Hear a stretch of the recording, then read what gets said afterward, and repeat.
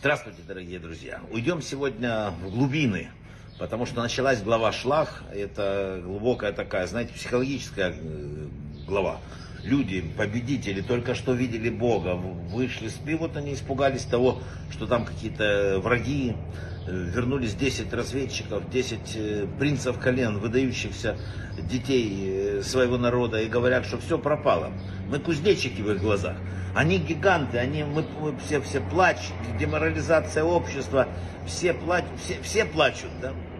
Был такой Аарон Бек, он основатель одного из такой форм э, психиатерапии, и вот его ученик назвал это, Селигман такой был, он назвал состояние такое приобретенная беспомощность. Человек все время думает, я, я не получится, у меня сорвусь, бесполезно, все пропало и так далее. И вот это вот произошло э, именно с разведчиками. Они пришли, сказали, да, страна с молоком и медом, но у нас ничего не получится. Калев, который э, шел с ним, он сказал, мы сделаем это. Они говорят, да нет, мы, мы, мы, мы никто, народ полдухов, давайте вернемся, давайте все. Что произошло? Произошло ужасное. Даже золотой телец это то, что Бог прощал народу. А здесь он сказал, нет, это поколение не войдет больше э, в мою землю, только их потомки уже войдут.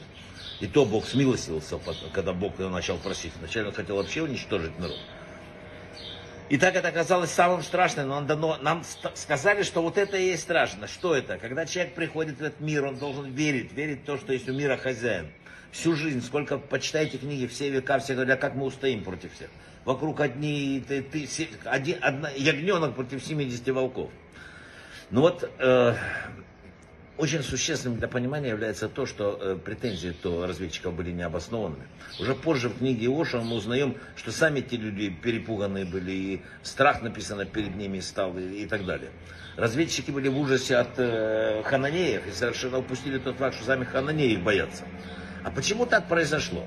И вот тут вот, вот именно э, та психиатрия, которую мы сказали, говорит, что есть ряд ошибок, серьезных ошибок, типов ошибочных мышления. Первое, это когда мы все или ничего. У нас или черное, или белое, или плохое, или хорошее, нет полутонов, легко или невозможно. И, конечно, э, такой вердикт разведчиков э, относительно завоевания это невозможно сразу. Сказали, было нелегко, это мы пробуем. Нет, вот это ошибочный тип или-или, он, конечно, очень опасный для человека.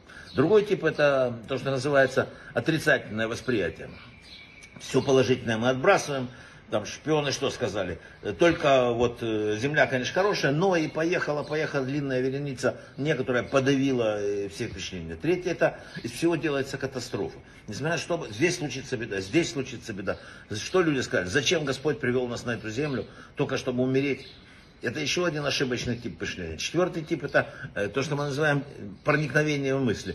Мы часто думаем, что знаем, что думают другие люди, там что-то, а на самом деле они думают, может быть, совершенно не так. И поэтому разведчики, которые сказали, мы кузнечики в собственных, э, в их глазах, там мы вообще кузнечики или кто, они ошибались, они не знали, как видят их жители этой земли. Пятый тип это мы неумение опровергать сказанное. Некоторые отвергают любые доказательства, аргументы, которые противоречат их негативным мыслям. Вот мнение будет вот именно так, знаете, не-не-не, знаете. Шестое, что отмечено в этом замечательном труде, это эмоции. Когда вы позволяете чувствам, а не тщательному обдумыванию управлять мышлением. Что не впадают в панику сразу, все, ничего не слышат, ничего не видят, стены до неба. Обратили внимание, как там написано? Они не задумывались, что они люди, которые вот эти стены до неба, может, они боятся. И седьмой тип это обвинение. Мы обвиняем все время в своем затруднительном положении там кого-то, чего-то, вместо того, чтобы взять ответственность на себя. И так поступили люди. Они сказали, вот эти Марше и Арон, они нас завели туда, там лучше поставили. То есть вот эти все типы мышления, они не дают развиваться, они не дают идти вперед. И это нам говорит Тора, она же не учебник. Она говорит, что есть такая терапия дальше. Говорит, а, дальше говорятся о нитях цицита, говорит, если их увидите, вспомните. Обратите, какой странный порядок. Мы сначала совсем наоборот, Раша говорит, глаза видят, сердце желает. Сначала мы видим, потом чувствуем, а Тора поворачивает. И что она говорит? Учит нас. Мы говорим, видим то, чего боимся, и часто то, что мы думаем на самом деле не существует. И вот был такой великий президент США Рузвельт, и он сказал, ну, не спорю про политику, и он сказал в своей инаугурационной речи такие слова, касающиеся истории с разведчиками. Единственное, о чем мы должны бояться, это самого страха всегда.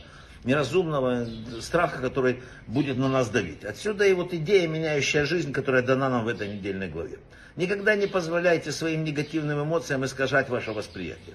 Мы не кузнечики, за нами э, и, против, и против нас не всегда гиганты.